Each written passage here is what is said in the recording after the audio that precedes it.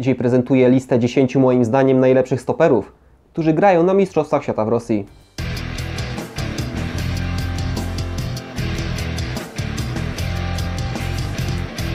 Ja jestem Mateusz, a to jest kanapa rezerwowych, na której analizujemy, opisujemy, przewidujemy i plotkujemy na tematy związane z piłką.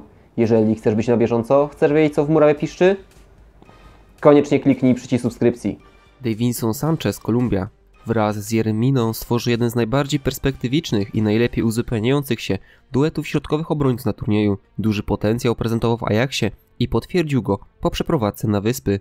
Ma teraz świetne warunki do rozwoju, drużynę budowaną z ambicjami, doskonałego szkoleniowca i doświadczonych zawodników wokół. Dobry mundial może być w ciągu kilku kolejnych lat jednym z jego argumentów, gdy będzie chciał wykonać kolejny krok w karierze i trafić do klubu pokroju Barcelony czy Realu. W minionym sezonie rozegrał 43 spotkania, w których raz trafił do siatki.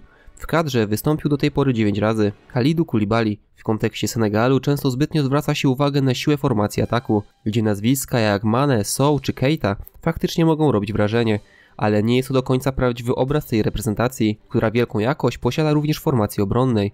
Duet Koulibaly-Sané jest przez wielu niedoceniany, a bardzo niesłusznie i miejmy nadzieję, że ignorancją w tej kwestii nie wykaże się nasz sztab szkoleniowy i Lewandowski ze zdziwieniem nie odkryje podczas naszego pierwszego meczu, że przyjdzie mu walczyć z dwiema twardymi jak skała wieżami, które doskonale wiedzą, na czym polega praca środkowego obrońcy. Siłą Kulibaliego jest również zmysł pod bramką rywala, zwłaszcza przy okazji stałych fragmentów gry. Niezastąpiony stoper Napoli zagrał w sezonie 45 meczach i zdobył 5 goli, dokładając do tego asystę kadrze rozegrał 23 spotkania. João Miranda w obliczu gorszej dyspozycji tego Silwy, Miranda wyrasta na lidera formacji defensywnej, przy którym na wyżyny umiejętności obronnych wzbija się bez większego trudu doskonale uzupełniający go Marquinhos. Nie ma znaczenia, czy do walki dochodzi na ziemi, w powietrzu, rywal jest szybki czy też silny. Obrońca Interu Mediolan radzi sobie z każdym zagrożeniem. Walnie przyczynił się do zachowania 15 czystych kont przez Brazylię w 20 meczach pod wodzą Tite. Podstawowy obrońca Interu Mediolan rozegrał w zakończonym sezonie 31 spotkań w Serie A. Nie jest więc przesadnie wyeksploatowany i powinien dobrze znieść trudy turnieju, w którym Brazylia ma zamiar zaś bardzo daleko. W kadrze Canarinos zagrał 47 razy, notując dwa gole.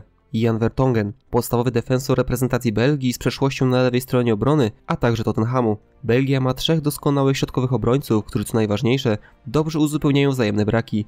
Vertongen dobrze się ustawia i choć nie jest mistrzem walki w powietrzu, to jednak jest jednym z najlepszych na tej pozycji, jeśli chodzi o prowadzenie piłki dribbling. Kolejny wstawca obrońca, który dzięki wyszkoleniu technicznemu nie boi się mieć piłki przy nodze i nie ogranicza się do podań do najbliższego partnera, ponieważ potrafi bez trudu posłać dokładną piłkę w głąb boiska i zainicjować atak zespołu. W sezonie rozegrał 48 spotkań, w których po jednym razie strzelał i asystował. W kadrze przekroczył 100 występów i zdobył 8 goli. Mats Hummels wraz z Jeromem Boatengiem tworzył parę stoperów przed 4 laty. Od dwóch sezonów grają razem w klubie. Ich współpraca powinna być zatem jeszcze lepsza niż ostatnio. Hummels nie dysponuje szybkością jego partner, ale za to doskonale się ustawia i w idealnym momencie podejmuje decyzję o ataku na rywala.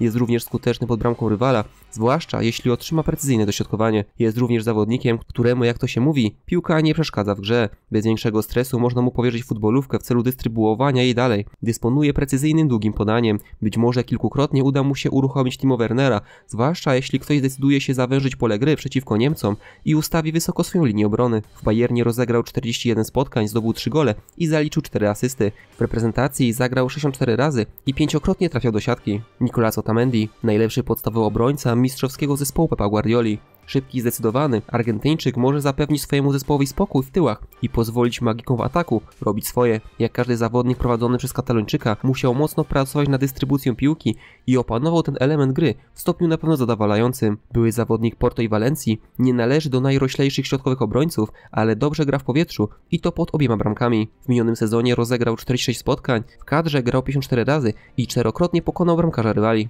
Samuel Umtiti Młody Francuz przyszedł do Barcelony, aby uczyć się i z czasem stać się jej podstawowym zawodnikiem. Postanowił jednak nie marnować czasu i z marszu został partnerem Piqué w środku obrony Blaugrany. W obliczu kontuzji kościelnego wraz z Varanem nie mają topowych rywali i wydaje się, że będą stanowili duet stoperów Francji. Obaj robią piorunujące wrażenie. Umtiti jest bardzo silny i pomimo jedynie 181 cm wzrostu musi budzić respekt rywali, dysponuje doskonałym odbiorem, spokojem, a także niebywałą jak na tę pozycję techniką. Widzieliście kiedyś zawodnika, który zdaje się wykonywać sztuczki techniczne w celu odbioru rywalowi piłki? Zagrania piętą przekładanki? Obserwujcie Big Sama, być może zaprezentuje takie zagranie na turnieju. W 40 meczach klubowych raz znalazł drogę do siatki, W reprezentacji ma na koncie 19 występów i jednego gola. Sergio Ramos. Przeciwieństwo Pique pod wieloma względami, co najczęściej przyczynia się do tego, że jest to najlepszy duet obrońców na świecie i na turnieju. Pique traci głowę jedynie w obliczu hiszpańskich arbitrów, Ramos nieco częściej. Zawodnik Barcelony lepiej czyta grę i ustawia się, ale kapitan królewskich wszelkie błędy swojej partnera naprawia za pomocą imponującej szybkości i agresywności. Również dobrze czuje się z piłką przy nodze, zaraża motywacją i chęcią wygrania za wszelką cenę, choć tu często przesadza. Ma dar znajdywania się w właściwym miejscu, czym zapewnił Realowi kilka tytułów. Pomimo niezbyt imponującego wzrostu, doskonale ustawia się przy stałych fragmentach gry i bezlitośnie kończy dobre dośrodkowania. Wadą bez wątpienia jest zbyt często osłabianie zespołu za sprawą czerwonych kartek, w których zbieraniu jest klubowym rekordzistą. W klubie rozegrał 42 mecze, w których zdobył 5 goli i zanotował jedną asystę.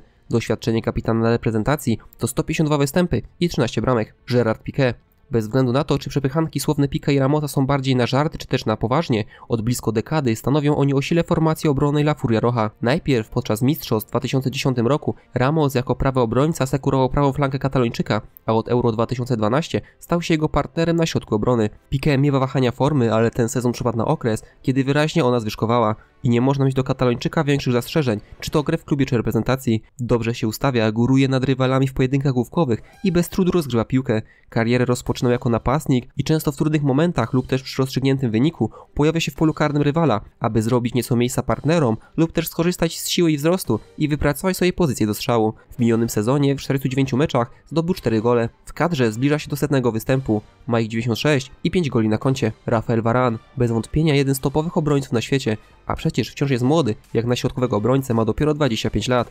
Poradził sobie w Realu Madryt i nie pęka w obliczu największych rywali. Trudno o bardziej wymagający test jakości. Przy imponującym wzroście jest piłkarzem wręcz absurdalnie szybkim. Reasum Titi mogą stworzyć jeden z najlepszych bloków obronnych na turnieju. W swoich optymalnych dyspozycjach trudno jakiekolwiek wady tego duetu. Ostatecznie można zauważyć, że nie są zbyt groźni pod bramką rywala, ale zarówno w kadrze jak i klubach mają z przodu najlepszych na świecie, jeśli chodzi o strzelanie, więc mogą skupić się na swojej robocie. Najlepszy moim zdaniem w tym momencie obrońca na turnieju. W klubie zagrał 44 razy i zaliczył dwie asysty. W reprezentacji ma na koncie 42 występy i dwa gole. Ramos, Piqué i Varane to moja trójka najlepszych środkowych obrońców, których oglądamy aktualnie w Rosji. Waszym zdaniem pominąłem kogoś, kto powinien znaleźć się w tym zestawieniu? A może troszeczkę inaczej pokładalibyście kolejność? Czekam na komentarze i opinie w tej sprawie. Dajcie znać w komentarzach. Już niedługo kolejne materiały. Prosto z kanapy rezerwowych.